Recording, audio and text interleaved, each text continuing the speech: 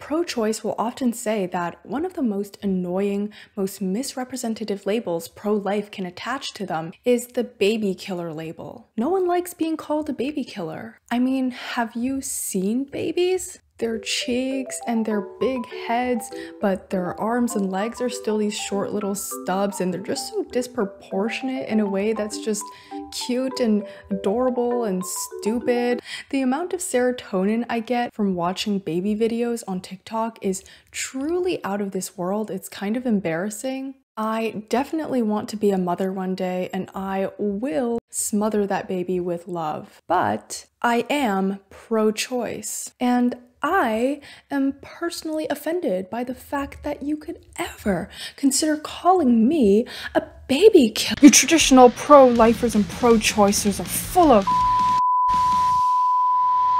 So that was Michael Tooley. He wrote a philosophical paper in 1971 titled Abortion and Infanticide, in which he says that abortion is morally acceptable before the development of self consciousness. Since a fetus does not gain self consciousness at any trimester of pregnancy, then abortion is perfectly fine at any trimester, including the later ones. Oh my god, it's a man who supports pregnant persons' right to bodily autonomy. But don't celebrate too soon, or if you're a pro lifer, don't get upset just yet. Tooley argues that since we don't see anything morally wrong with abortion according to his self consciousness requirement, then killing newborn babies before they gain self consciousness is also fine. He takes a radical stance of permitting infanticide in certain cases. Now, if you think it's just this one crazy guy in the 70s who said this, you'd be wrong. In 2012, Alberto Giubilini and Francesca Minerva published a very controversial paper titled After Birth Abortion Why Should the Baby Live? They too propose that in certain circumstances, and we'll talk about what those circumstances are later on, caregivers should have the option to kill, or as they like to say, abort newborns. Unsurprisingly, this paper got tons of negative attention. I understand how unbelievable this position sounds. Need I remind you of my baby fever? But I would like us to all try to remember that these arguments come from a place of sincere philosophical reasoning. They are pro-choicers who genuinely think that they are being more considerate for burdened caregivers. Regina Rini wrote a paper in complete disagreement with this after-birth abortion stance, but she still opens her paper with this. Unfortunately, some responses to GNM's paper have so far exhibited this discomfort in a dangerous way, trending toward abuse and even threats for the authors. I have no patience for such responses. GNM's argument deserves serious, sober-minded consideration, and the authors obviously deserve basic respect and decent treatment. My intention in this paper is to maintain all of these while nevertheless arguing that the substance of GNM's paper is flawed.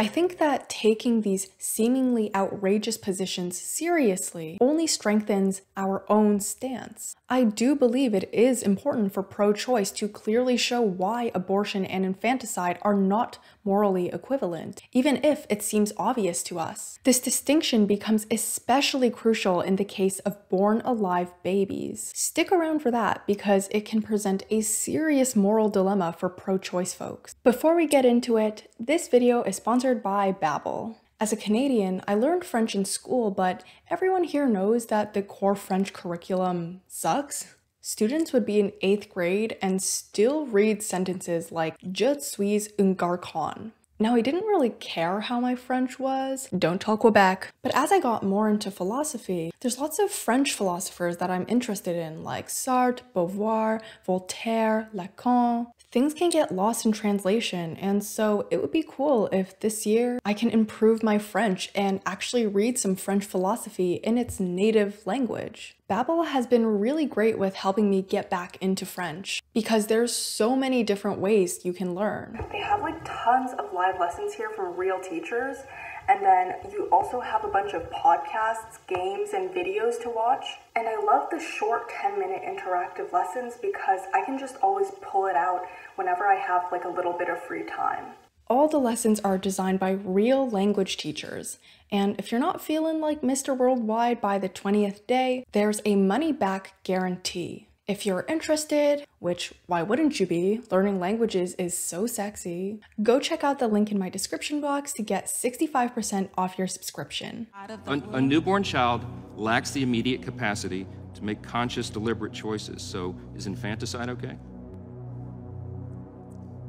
I think what we're here to talk about is abortion care what you're describing is something that is already illegal and there are laws on the books for that. So I'm not a proponent. But see, you understand if Dobbs if Dobbs is handed down, the states will be able to make that decision, and there are some that will go that far. You need to be aware of what we're talking about today. I'm out of time. I yield back.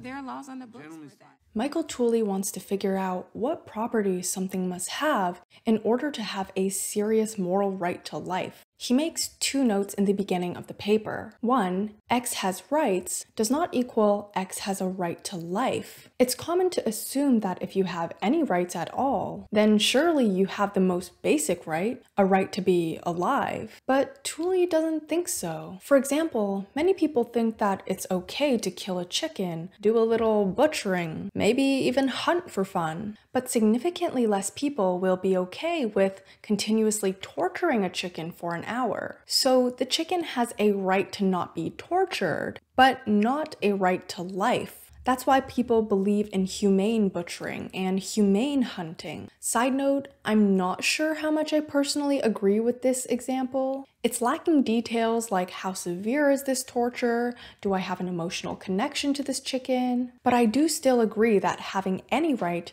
doesn't necessitate having a right to life. 2. Person and human being cannot be used interchangeably. Doing so plays in the favor of anti-abortionist positions, which Tooley doesn't want. If we use person and human being to mean the same thing, then pro-choice is forced to claim that a fetus is, at least up to a certain point, not human. He says that even Judith Thomson, who wrote A Defense of Abortion, the argument showcased in Philosophy Tube's video, makes this mistake. Quote, I am inclined to think also that we shall probably have to agree that the fetus has already become a human person well before birth.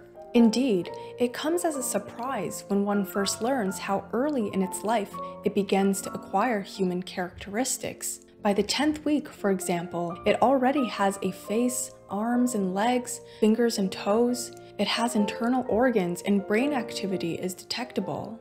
And Tooley is like, yeah, I agree. Clearly, the fetus is a human when it has all these physiological human characteristics. It belongs to the species Homo sapien, but growing thumbs is not morally significant. Whether a fetus has thumbs or not does not factor into whether abortion is permissible or not. It doesn't make someone a person. For Tooley, a person is someone with a right to life, while a human being doesn't necessarily possess this right. This is because of his self-consciousness requirement. An organism possesses a serious right to life only if it possesses the concept of a self as a continuing subject of experiences and other mental states, and believes that it is itself such a continuing entity. Now, why does he say self consciousness is the deciding factor for personhood? Well, he says a right is basically a desire someone has that others have a prima facie obligation to avoid getting in the way of. But of course, that desire has to belong to something conscious. I mean, it would be weird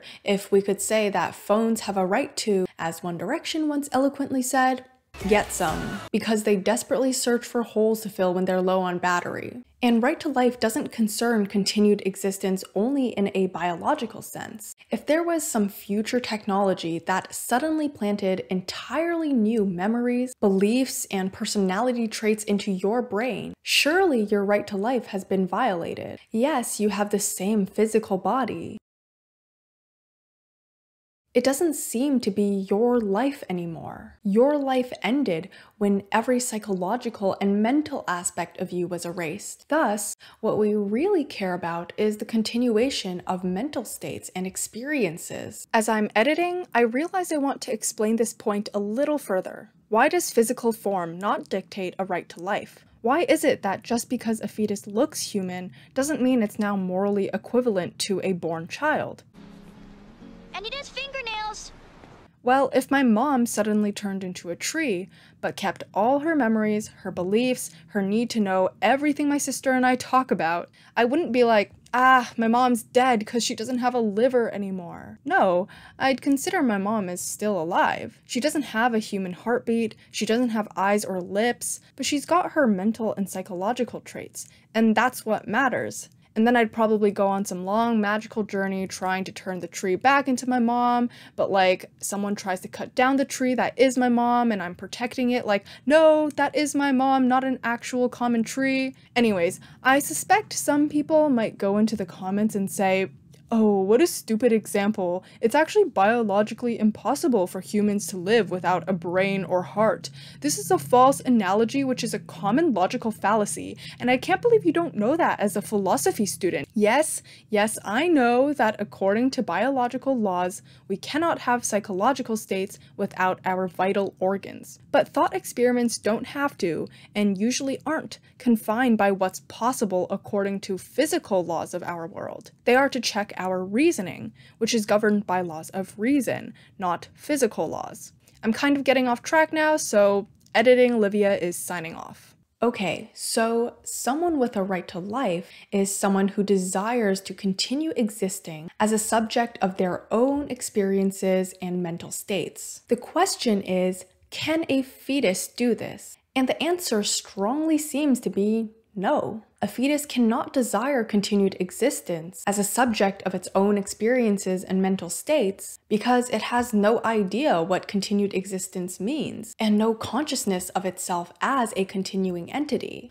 Without the ability to desire itself as a continuing entity, Tooley says a fetus has no right to life. Immediately, some of you might say, well, sometimes when people are hitting absolute rock bottom, they may not desire to live. Do they now lose their right to life? Tooley says no. There are three situations where a person may not desire a right, but their right must remain upheld nonetheless. 1. Situations in which an individual's desires reflect a state of emotional disturbance. So, if a suicidal patient tells their therapist, I don't really want to live anymore, and the therapist is like, cool, do your thing and lets the patient take their life, a right to life was still violated here. 2. Situations in which a previously conscious individual is temporarily unconscious. When we're unconscious, we have no desires, but that doesn't mean it's suddenly okay to murder people in their sleep. 3. Situations in which an individual's desires have been distorted by conditioning or by indoctrination.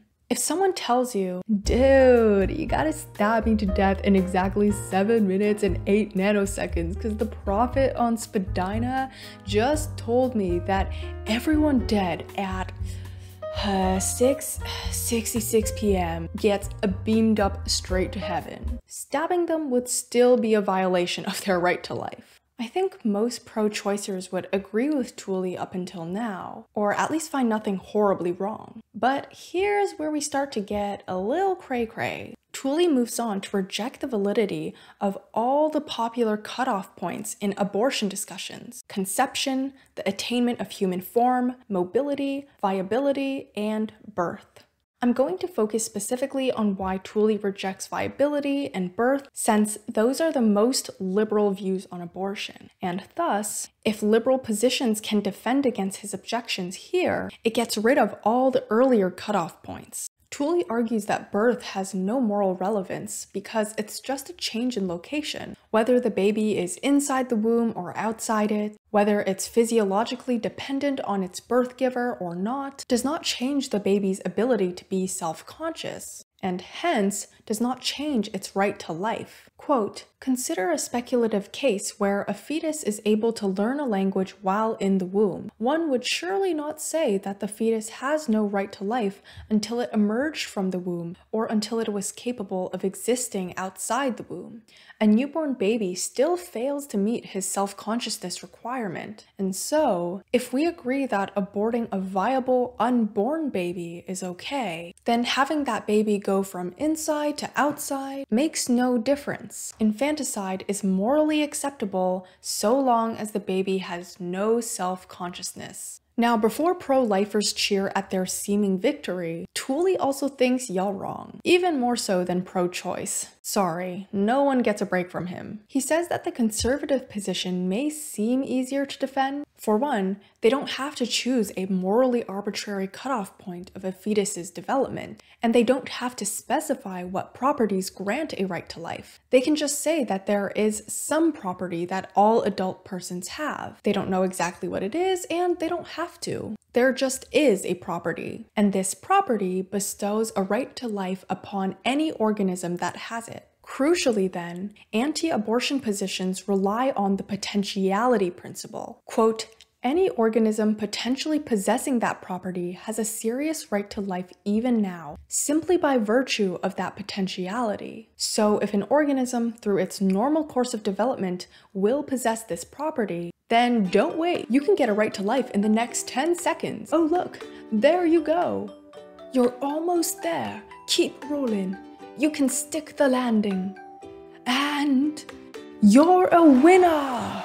Congrats on being conceived, little fella. Here's your right to life. Don't ask me why my accent changed, that's just how I imagine sport commentators to sound like. The potentiality principle is what allows anti abortionists to say that so long as you are part of the Homo sapien species, from a zygote on, you have a right to life. It also maybe allows them to argue that a fetus developing limbs and fingers is morally relevant, not because physical traits themselves have moral relevance, but because they are a necessary causal step to developing future psychological traits that do matter. So let's search. Is there a property that gives an organism a right to life only because the property stands in a causal relationship to a second property? Tooley describes the relationship like this. Let's say there is action A that initiates the causal process C, which normally leads to the outcome E. B is an action involving minimal effort that stops the process C before outcome E occurs. If we assume that A and B lead to no other consequences besides E, which I think is a fair assumption because being pregnant with a viable baby leads to birth, and abortion, the interference, stops birth, then there is moral symmetry between inaction and action. There is no moral difference between intentionally performing action B and intentionally refraining from performing action A, assuming identical motivation in both cases. Many philosophers disagree with this statement because there definitely seems to be a difference between our positive duties, or our duty to act, and our negative duties, or our duty to stay out of the way. Even if it is not wrong to send food to starving people in other parts of the world, it is more wrong still to kill someone. And isn't the conclusion then that one's obligation to refrain from killing someone is a more serious obligation than one's obligation to save lives? But Tooley says that there isn't any moral difference in the duties themselves. The reason why this distinction seems to exist is based on the motivations we assume people have. Generally, we assume that I might refrain from, say, donating to charities because I'm apathetic or lazy or I just feel amoral about the situation. Whereas to actively choose to kill someone is knowingly and purposely intending to cause death. However, if we make the motivations identical, then the distinction between positive and negative duties falls. Consider scenario 1, where Jones sees that Smith will be killed by a bomb unless he warns him. Jones' reaction is, How lucky! It will save me the trouble of killing Smith myself. So Jones allows Smith to be killed by the bomb, even though he could easily have warned him. Compare that to scenario 2. Jones wants Smith dead, classic, and therefore shoots him. It doesn't feel like one scenario is far worse than another. Jones feels like the cause of Smith's death in both cases, even if scenario 1 was due to his inaction. Moreover, we instinctively feel a difference between action and inaction because, well, action involves effort. For most people, refraining from killing someone doesn't require effort.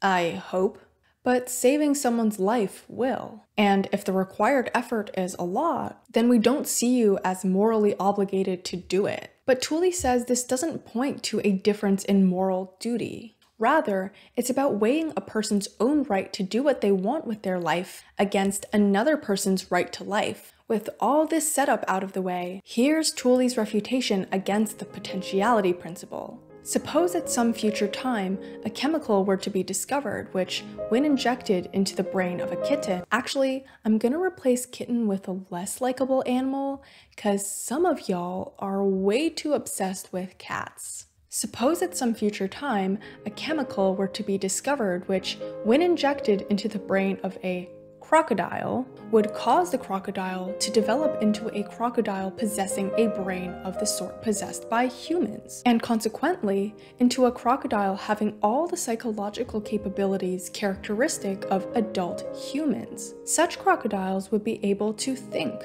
to use language, and so on.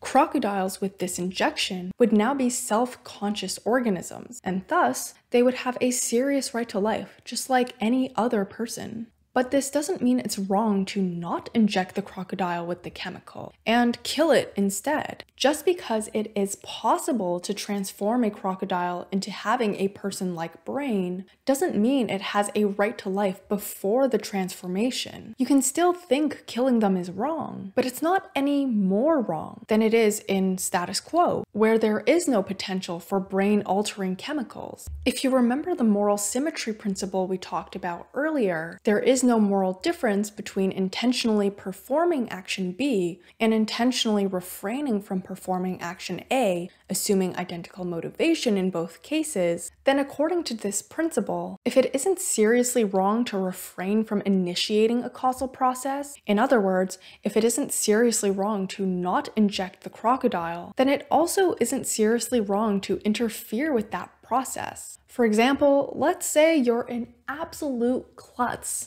and you accidentally inject Crocodile 405 with the brain altering chemical. But Oh shit. Crocodile 405 is supposed to be skinned and butchered in preparation for Gordon Ramsay, who's coming to pick up the crocodile in 15 bloody minutes. Not only will your boss fire you once they hear you've turned an ingredient into Master Croc, but you'll have a scowling Scottish man demolish any smidge of respect you have for yourself in every curse word possible. Right, don't whistle at me, I'm not your fucking dog, yeah? You look more like a dog than I do.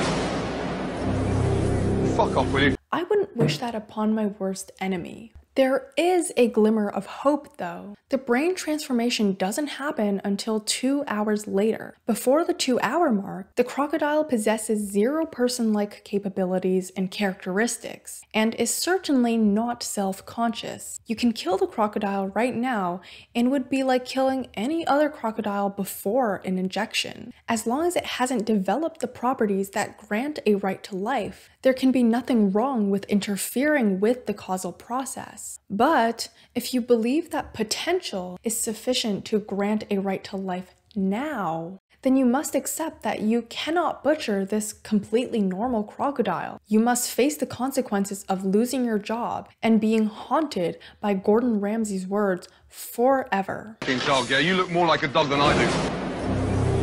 Fuck off, will you? Quote, but if it is not seriously wrong to destroy an injected crocodile, which will naturally develop the properties that bestow a right to life, neither can it be seriously wrong to destroy a member of Homo sapiens, which lacks such properties, but will naturally come to have them. Forty years later, Giubilini and Minerva, whom I'll refer to as G and M from now on, advance similar arguments to Tooley, but they add a bit more medical context. They say that most, if not all, pro-choicers think that it's valid to get an abortion if a fetus is found to have severe abnormalities. That would not only make the baby's life extremely difficult, but also the family's, especially if they are financially struggling or are a single parent. But what do we do when the exact same conditions that would have justified abortion are only discovered after birth or during delivery? One example is the case of Treacher-Collins syndrome, or TCS,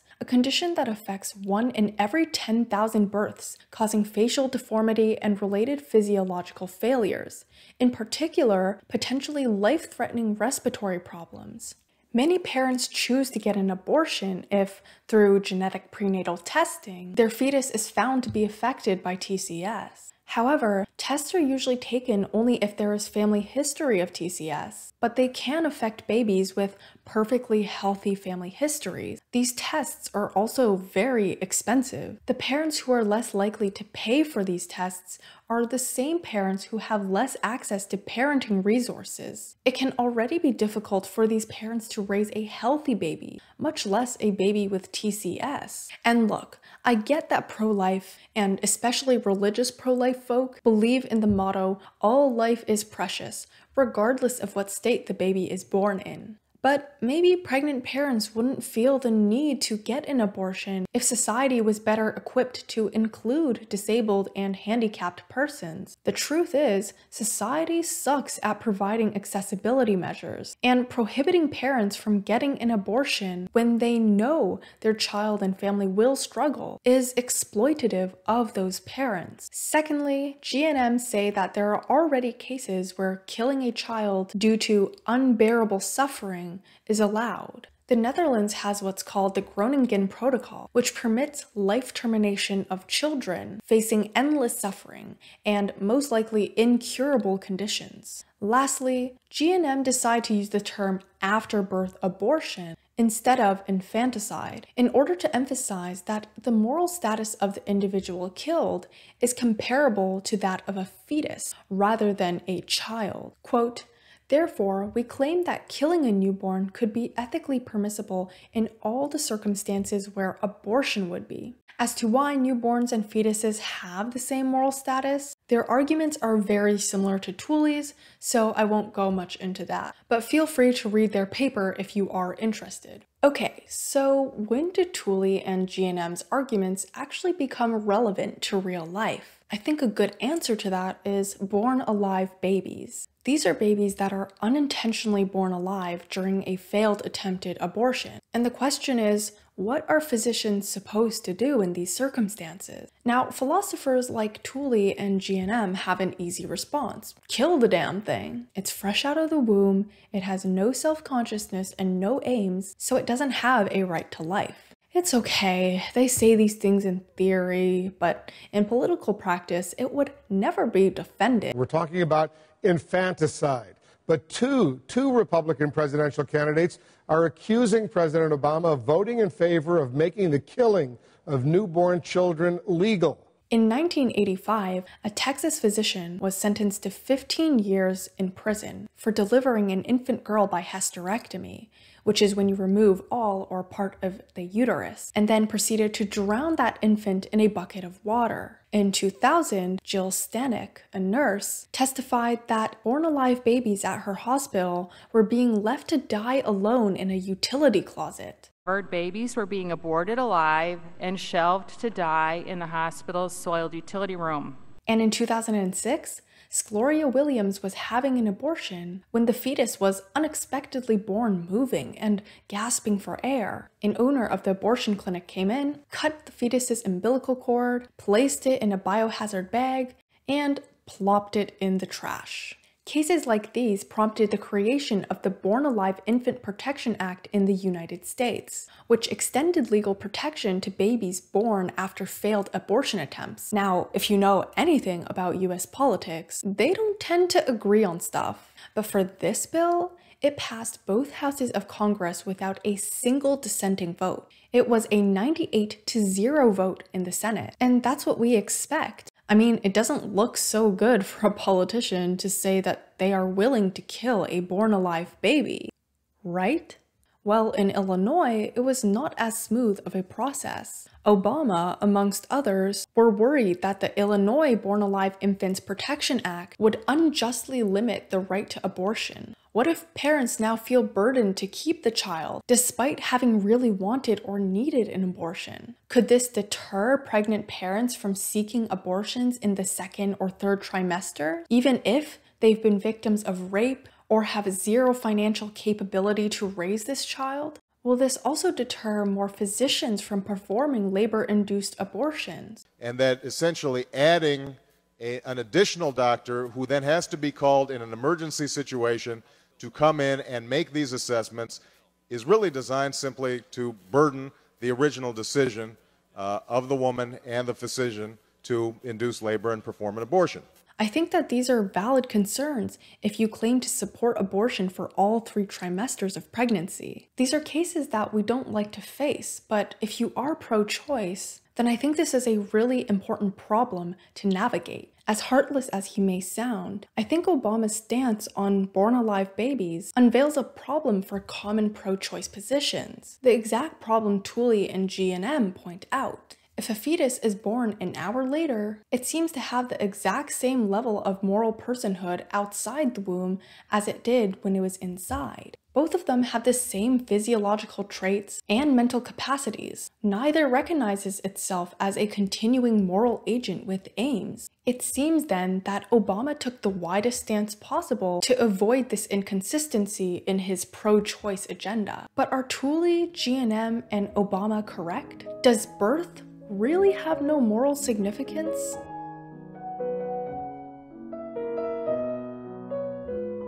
I spent a lot of time explaining the content in Tooley and G&M's papers because I wanted to present a thorough, charitable version of their arguments. Now that we hopefully have a good grasp of what they were saying, we can now get into their flaws. The main reason why Tooley and G&M proclaim infanticide of newborns is okay is because they see no moral significance in the change of location. Viable fetus versus newborn baby is just a semantic semantic change, but they are both morally equivalent beings. But is birth really just a change in location? The way I might move from one part of the room to another? In Rini's paper, Of Course the Baby Should Live, Rini agrees that a person is someone with a right to life. To have a right to life, they must be self conscious of their existence and ascribe value to it in such a way that they consciously desire its continuation. Very similar definition to Tooley and G&M. But she takes a crucial step that they don't. She describes two logically distinct ways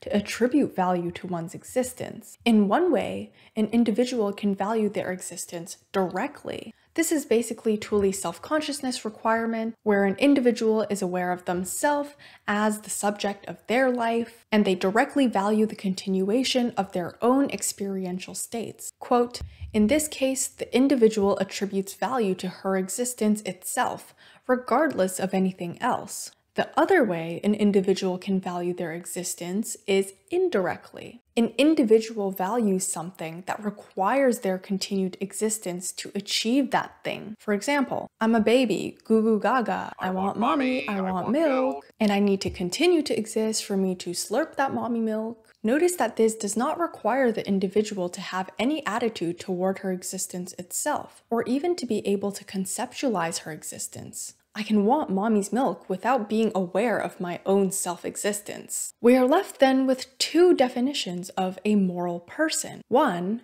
a moral person is an individual capable of conceiving of herself as the subject of a life that she values. Two, a moral person is an individual capable of valuing certain aims for which the continuation of her life is instrumentally necessary. Okay, so which definition were Tooley and G&M using? Well, number one is too strong to be plausible. It would require the individual to conceive of themselves as the subject of their life, and also understand what it would mean to value that life. This would not only exclude newborn babies, but also some developmentally disabled adult humans. In fact, G&M say that many non-human animals and mentally disabled human individuals are persons. So, I guess they adopted the weaker definition, number two. This definition does not exclude developmentally disabled adults, nor certain non-human animals. Although they may not be able to have sophisticated self-conceptions, they do have aims. But Rini is confused as to why infants are excluded from this. Do babies not have aims? G&M merely assert that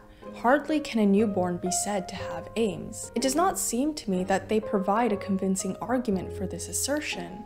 True, a newborn infant does not have very sophisticated aims, nor a particularly sophisticated conception of its future. But even a newborn infant does exhibit preferences for warmth, for food, for physical contact. It experiences pleasure and pain as linked to the satisfaction or frustration of these preferences, and it will do the tiny things within its power grasping, suckling, crying to bring about the fulfillment of these preferences. It seems plausible to me to call all of these things aims in a newborn infant, or at least I can't see any justification for refusing to call these things aims and yet insisting that many non human animals do have aims. And the reason why born babies have aims and fetuses do not is because the change in location during birth is morally relevant. When a fetus is inside the womb, it is entirely dependent on the pregnant parent. All its needs are provided directly through its umbilical cord and uterus environment. It is completely passive in regards to its own needs. But when that fetus comes out into the world, its umbilical cord is snapped, its lovely uterus home is gone, and it must now breathe on its own, process its own nutrients, generate its own bodily warmth. A newborn becomes biologically independent. It now needs to actively seek out the fulfillment of its own needs. And they immediately do whatever their little squishy bodies can to signal that they want to fulfill these needs by crying and suckling and yelling. Ugh. You're telling me that I have to signal for food myself now? I can't just wait for someone else to eat? God, being born sucks. Being born also situates you in a social context that didn't exist beforehand. In abortion, infanticide, and moral context, Lindsey Porter argues that infanticide and abortion are alike in theory. In reality, though, they will never be the same because they occur in different moral contexts. She says that just because something has a right to life doesn't mean you automatically have the thumbs up to go for the kill. Take tree lobsters, for example. They have the same intrinsic right to life as any other little insect that we squash with zero remorse, aka no right to life. And yet, it is morally impermissible to kill tree lobsters not because they have a right to life, but because they are an endangered species. If they were just as common as ants, then we'd probably also drown them with Nerf water guns. I, I never did that when I was seven. Some friend told me that they did that when they were seven. This shows that there are facts external to the tree lobster, such as the biological ecosystem and their relationship to it, that influence the permissibility of killing them. It's not just about the rights a tree lobster has, or the lack of rights in this case. Neither newborns nor fetuses are an endangered species, but just like tree lobsters, there are non intrinsic facts about them that are relevant to moral claims about them. In theorizing about permissible treatment of fetuses and newborns, we cannot simply look at their intrinsic features. We cannot consider fetuses and newborns in isolation. Context matters. In the same manner, as soon as a baby is born, it stands in a complex relation to many people, whereas pre birth, it had a unique single relationship with the pregnant parent. A fetus is a part of its parent, and its relationship with others were mere potential. But a born baby solidifies its place in social relations. Pregnancy is the only relationship where providing one being, the fetus, with medical care for its benefit is impossible to do without also doing something to the pregnant parent. You literally cannot perform operations, checkups, or prescribe medication for the fetus without the cooperation and consent of the pregnant parent, unless you force them to comply against their will. But once the baby is born, it gains independence. It branches out from this unique single relationship. The moral context has changed. The reason why so many discussions overlook the moral significance of birth is because the mainstream outlook on moral rights theory rests on two assumptions. First, when discussing who has what moral right, the justifications revolve around intrinsic properties. When you look at and listen to abortion discussions, the right to life debate is always about what does a fetus or an adult essentially have? Do you have a conscious concept of self? Are your organs able to keep you alive independently? Do you have hands? These are all intrinsic properties, relational social properties, such as being loved, being part of a social community, or a biological ecosystem. These are rarely cited as relevant to the discussion, and I definitely think they should be. Second is the single criterion assumption, which assumes that there is one key property that determines whether something has moral rights or not. People try really hard to come up with one special cutoff point where before it, abortion is totally okay, but after it, it's completely evil. Or people will talk about how a single right must prevail. It's always either right to life is the key property, or right to bodily autonomy is what truly matters. This single criterion assumption doesn't allow for the possibility of a variety of sound reasons for ascribing moral rights. It doesn't allow us to say, hey, let's look at intrinsic rights, but let's also look at relationships to family and to society at large. Abortion discussions can get frustrating when you feel like you hear the same arguments over and over again. Hopefully through this video, you might have come across something new. If you didn't get enraged by this video, you can like and sub if you want, leave a comment if you want, Please try to be respectful, but I understand this topic is touchier for some than others. I know I didn't cover a lot of the popular abortion arguments, but that wasn't the purpose of this video. I wanted to focus on a specific philosophical discussion that interested me. I would highly recommend reading the papers I've talked about in this video if you have the time and are interested in getting the most detailed version of this discussion. Thank you so much for watching. Let's keep talking, and I hope to hear from you soon. Bye!